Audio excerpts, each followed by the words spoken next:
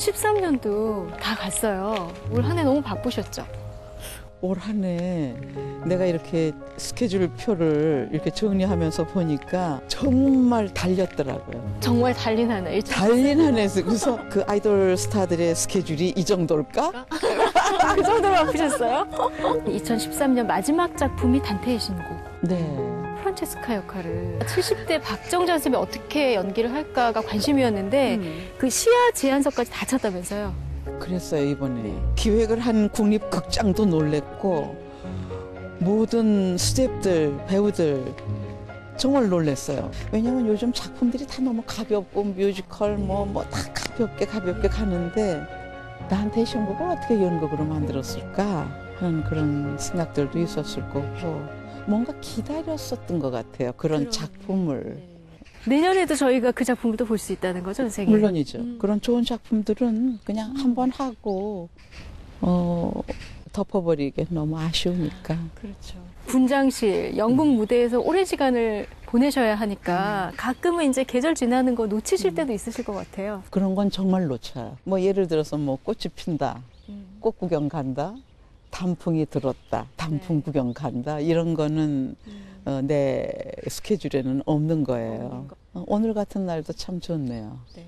아, 그러네요. 고맙습니다. 아, 더 있고 싶은데 음. 선생님 목이 생명이시라 지금 조금 추워서 안으로 모셔야 될 것 같아요. 그럴까요? 들어볼까요? 박물관이 우리 집도 아닌데 제가 모신다고 하니까. 많이 죽어버렸어요. 열단장이나 죽살 뭐라고 뭘 올릴 작정이냐?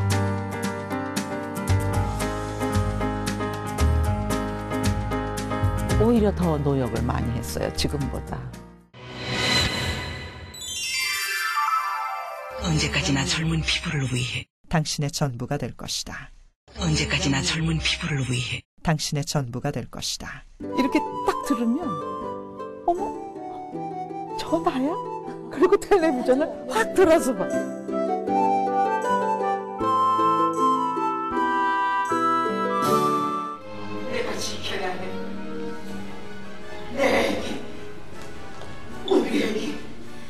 정말 문화의 그 최일선의 그 현장에 있는 연극인들한테 사대 보험이 적용이 안 돼요. The whisper of the leaves is a rhapsody in green. A-ho, A-ho. 카리스마의 대명사, 연극계의 대모 오늘 박정자 선생님 모셨습니다. 안녕하세요. 안녕하세요. 나 연극계의 대모라는 소리 제일 거북한데. 거북한 소리를 처음부터 해서 어떡하죠? 글쎄 말이에요. 왜요, 선생님? 대모 맞으시잖아요. 아직 그 반열에 오르지 못했고 글쎄 언제 거기까지 갈 수 있으려나? 음. 지금도 그렇게 생각하세요? 아, 그 물론이죠. 아, 진짜 목소리가 너무 정말 독특하고 중후하고 누구도 흉내낼 수 없는 그런 목소리시잖아요. 목소리 팬이 많으실 것 같아요. 예. 얼굴은 기억을 못해도 굉장히 오래전에 광고를 한 적이 있었는데 한 20년, 30년 전인데 생물학적 복합물의 효과 피부로 확인합니다.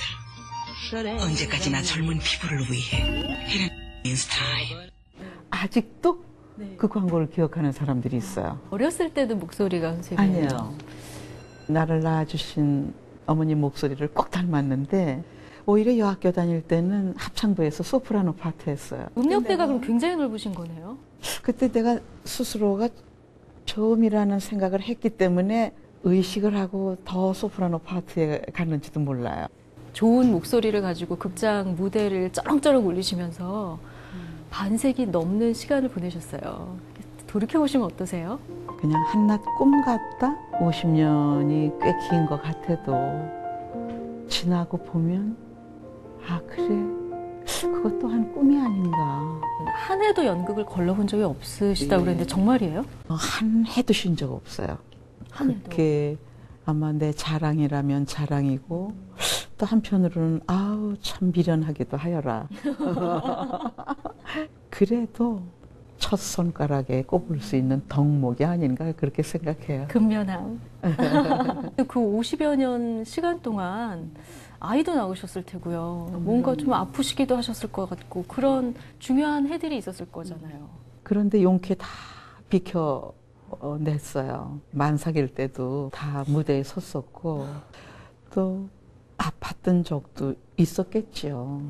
그런 게 그냥 합쳐서 합쳐서 50년이 되는 것 같아요. 별거 아니에요. 어, 저희가 생각하기엔 굉장히 별거예요, 선생님. 아 그래요? 아니 살아보세요. 사랑받는 며느리는 아니셨을 것 같아요. 너무 바쁘셔서.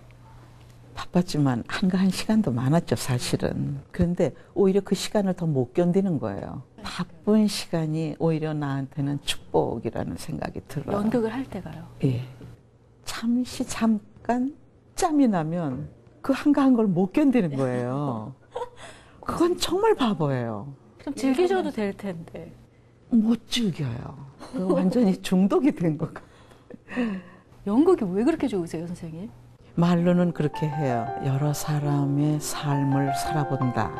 거기에는 인생을 살아가면서는 우리가 느끼지 못했던 뭐 빨주노초 파남보의 그 여러 가지의 그런 그 어, 감정들이 있잖아요. 그 속에서 그 모든 격렬한 삶, 미움, 사랑, 아픔, 외로움 이런 거를 굉장히 극적으로 느낄 수 있는 거예요. 그리고 무엇보다도 가장 아름다운 순간은 뭐냐면 관객하고 만나는 순간이에요. 관객은 연극을 완성시켜주는 절대 요소예요. 그러니까 관객이 없다면 연극은 그건 이루어질 수가 없어요. 존재할 수가 없는 거죠. 내가 아무리 힘들고 어렵고 해도 결국은 관객의 힘이, 관객의 박수가, 관객의 환호가 나를 여기까지 에, 끌어왔다. 라이브로 이제 연극을 하시고 관객과 직접 호흡하고 이러다 보면 선생님 예기치 않았던 어떤 상황들이 또 발생해서 연극이 발전이 되고 또 이런 경우도 있었을 것 같아요. 갑자기 다리에 부상을 입은 거예요. 발을 이렇게 넘어지면서 접질려는데 발등이 순식간에 막 이렇게 이 저 부풀은 빵처럼 이렇게 부풀어 올라 직전에요. 공연 한 서너 시간 전에 한쪽 신발은 신고 한쪽 신발은 발이 안 들어가니까 이렇게 꺾어서 신고 무대에 올랐는데 어떤 생각이 들었냐 하면 배우는 아플 권리도 없구나. 아플 자격도 없구나. 또 한 번은 친정어머님이 구경을 오셨는데 엄마는 50에 바다를 발견했다. 산울림에서 공연할 때인데 나를 낳아주신 어머니가 객석에서 연극을 보시는데 내가 어설픈 엄마의 역할을 무대 위에서 하고 있다라는 게 너무 부끄러운 거예요. 근데 끝나고 나서 커튼콜 할 때 사실 오늘 나는 나의 어머니 흉내를 낸 것에 불과하다.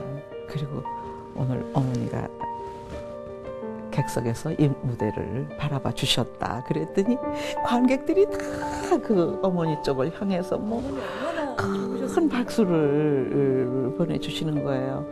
선생님은 어떤 어머니셨어요? 이런 질문 받을 때 나는 할 말이 없어요. 부끄러워서. 정말로. 내가 열심히 바쁘게, 열심히 연극하는 거, 그걸 아이들한테 보여주는 거 이외에는 아무것도 해준 게 없어요. 그리고 가끔 미안해서 우리 딸이 멀리 있거나 이러면 전화해서 얘, 나 네 엄마 맞니? 이러고 물어요. 선생님께 꼭 하나 좀 부탁을 드리려고 이렇게 시집을 하나 준비해 왔어요. 예, 나는 시 읽는 거 참 좋아해요. 어떻게 시인은 이런 표현을 쓸 수 있을까 생각했는데 이 표현을 선생님 목소리로 들으면 진짜 더없이. 영광일 것 같아요. 김초혜. 어머니 한 몸이었다. 서로 갈려. 다른 몸 되었는데. 주고 아프게 받고 모자라게 나뉠 줄 어이 알았으리. 쓴 것만 알아 쓴줄 모르는 어머니. 단 것만 익혀 단 줄 모르는 자식. 처음대로 한 몸으로 돌아가 서로 바꾸어 태어나면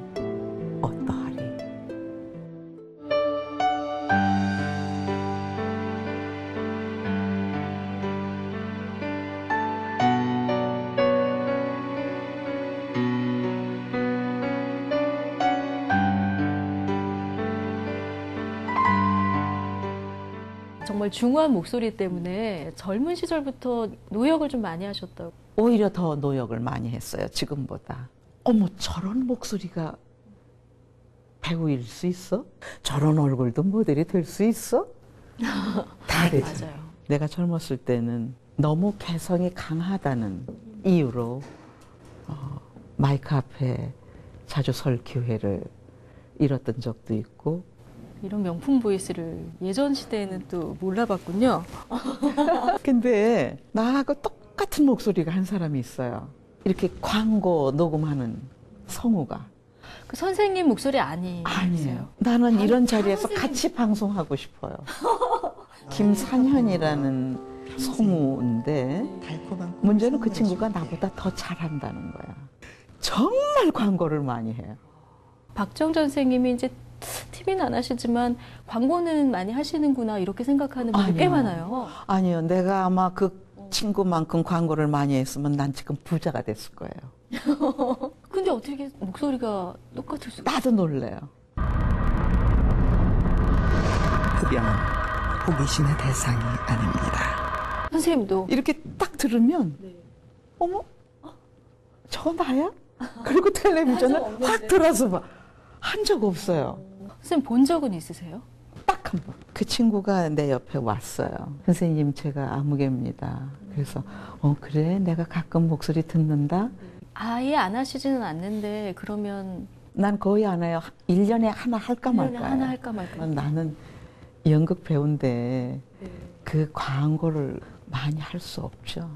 어쨌든 오늘 여러 시청자분들께서 오해를 말끔히 푸셨을 것 같습니다. 아 그럴까요? 박정현 선생님은 광고를 거의 안 하십니다. 아니 광고도 하면 좋죠. 나쁠 건 없어요.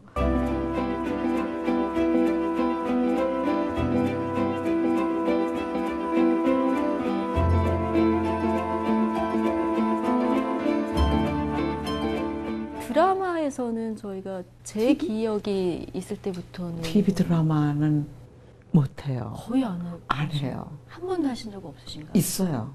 예전에는 예, 아, MBC 개국 무렵 네. 그때 잠깐 한 적이 있는데 텔레비전이 나하고 안 맞는다는 걸 이미 옛날에 알았어요. 연극계에서 연기 탄탄히 다져서 이제 드라마나 아니면 영화로 진출해서 성공하신 분들 꽤 많잖아요. 어, 많죠. 네, 어떻게 보세요? 어, 좋죠. 근데 어떤 때는 아우 연극의 좋은 배우들을 뺏기는구나 하는 그런 아쉬움도 있어요. 그렇지만 우리가 연극을 하면서 빵을 해결할 수가 없어요. 지금도.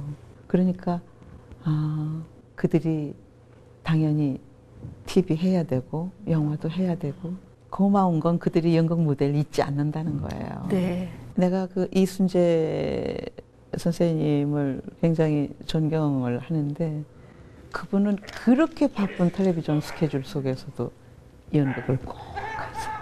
그런 그 선배의 모습이 후배들한테 많은 귀감이 될 거예요. 김윤석 씨 또 송강호 씨 인터뷰 해봤었는데 연극 무대를 굉장히 그리워하시더라고요. 아무것도 없지만 아마 아, 그 배우들이 무대에 와서 무대를 채워준다면 이미 영화를 통해서 팬이 된 관객들도 극장 무대에 와서 정말 대단한 환호와 응원과 감사의 박수를 보낼 것이고 선생님 후배들한테 조금 엄하시다고. 저는 잘 어, 전에는 지금도 후배들은 그렇게 생각을 하나 봐요. 이번에 그 단테의 신곡에서도 나는 딱 두 장면, 엄격히 말하면 세 장면 출연해요. 내가 무대 위에 나와 있는 시간은 한 15분 정도? 그건 오이디푸스나 안티고네도 마찬가지였어요. 그 15분의 역할을 2시간, 그 이상의 시간으로 난 만들어야 되거든요. 우리가 2시, 3시부터 연습해서 9시, 10시까지 해요. 그러면 거의 연습실에서의 그 많은 시간을 보내는 거예요. 근데 내가 꼼짝도 안 하고 앉아 있거든요. 계속 네, 그러면 후배들이 보기엔 아니 저 선배님은 왜 화장실도 안 가나? 나는 그게 함께 나누는 거라고 생각해요. 그 공간을, 그 시간을, 그 작품을 연습 요만큼 했으면 무대 위에서 요만큼밖에 안 보여요. 연습 이만큼 했으면 무대 위에서도 이만큼 보여요. 그런 또 후배들의 좀 처우 개선을 위해서 선생님 또 많은 시간을 보내고 계세요. 스스로 이제 연극인 운동가 이런 표현도 쓰셨던데요. 우리 연극인들한테는 보험이 없어요. 4대 보험 안 돼요. 우리는 자유업이잖아요. 네. 직장이 없잖아요. 그러니까 보험이 해결이 안 되는 거예요. 그래서 어떤 때 난 이렇게 얘기를 해요. 예, 차라리 내가 연극인 복지재단에 직원으로 들어가는 게 낫겠다. 재단의 직원은 그러면요. 보험 적용이 되죠. 내가 그 몇 년 전에 신용카드를 처음 낼 때 직장이 없어서 신용카드가 안 나왔던 적이 있었어요. 어머, 선생님이요. 예. 하도 관객이 없으니까 늘 이렇게 핸드백 속에다가 연극표를 넣고 다니면서 팔았어요. 선생님이 직접. 예. 나는 지금도 연극표를 파는 게 부끄럽다고 생각하지 않아요. 객석에 관객이 없다면 그건 어떤 연극도 완성이 될 수가 없거든요. 국민들의 삶의 질을 어떻게 보면 높여주는 분들인데 연극인들에 대한 처우는 그 정도군요. 네. 그래서 작년에 사실은 그 예술인 복지재단이 아, 출범을 했어요. 물론 가는 길까지 좀 험하겠지만 그래서 아, 우리가 그걸 이제 기대하는 바가 크죠.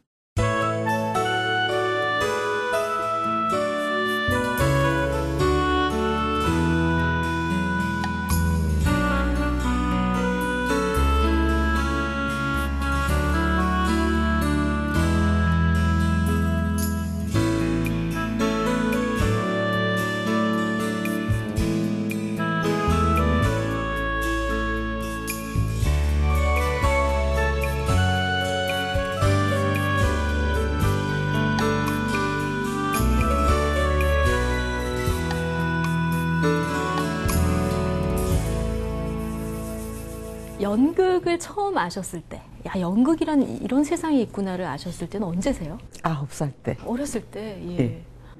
처음 봤으니까 원술랑이라는 작품을 그 범일관에서 공연할 때예요. 내가 오남매 중에 막내인데 오라버니가 연극을 하셨어요.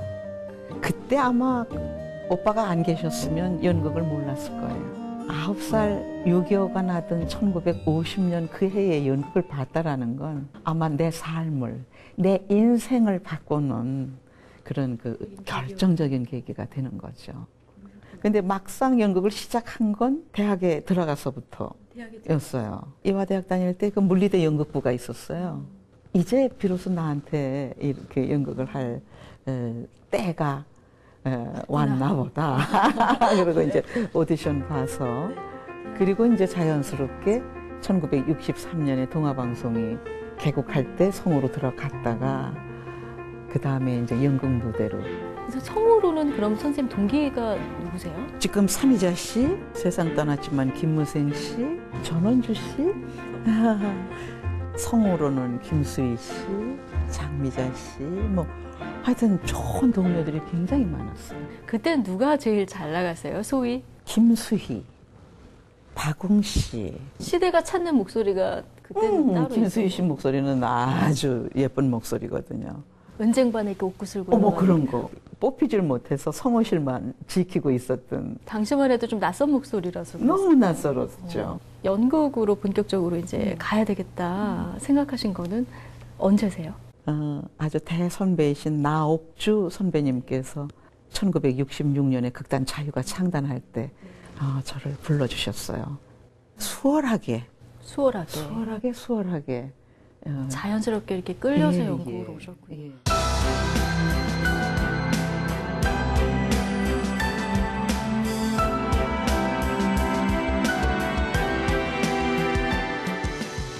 선생님 50년 넘게 연극하셨는데 지금도 무대에 오르시기 전에 떨리세요? 떨려요.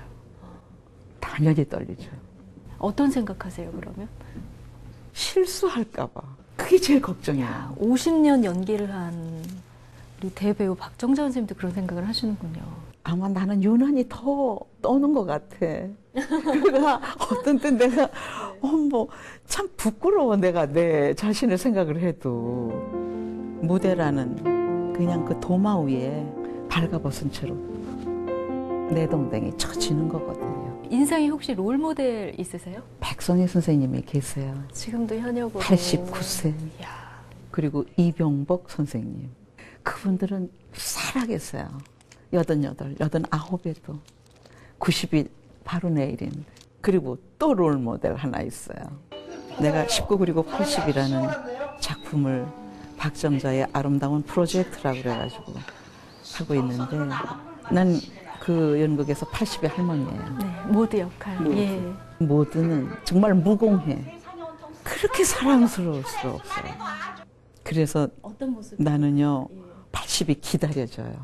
80이 오면 나는 분명히 그 19 그리고 80 공연을 할 거예요. 그런데 그냥 나이만 먹는 게 아니라 모두처럼 늙어가야 되기 때문에 80이라는 나이는 꽉 찬 나이, 아주 충만하고 참 예쁠 거라고 생각해요. 내가 그 80이 됐을 때 이 작품을 윤석화가 연출하기로 했어요. 아, 그래요? 나하고 약속했어요. 너무 기대되는데요, 선생님. 그럼요. 지금 막 첫 꿈을 향해서 첫 발을 내디디기 시작한 그런 어떤 청춘들에게 한 말씀 해주신다면? 좌충우돌하는 거죠.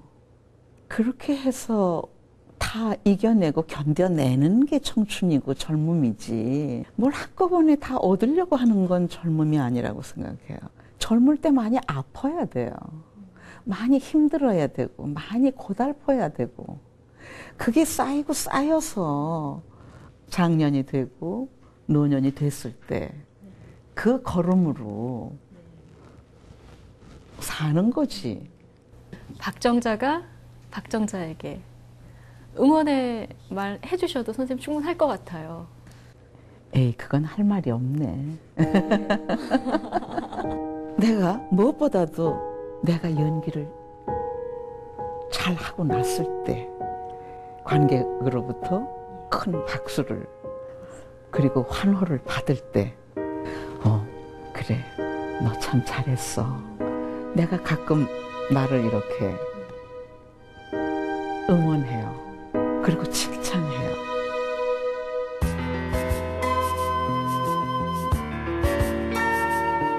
음, 들어요. 구름이 썬데이. 라라라라라라라라리라 라라라라라라라라라 내 자존심이죠. 권투 링 같은 숨 막히는 곳이에요. 박정자는 존재하지 않겠죠.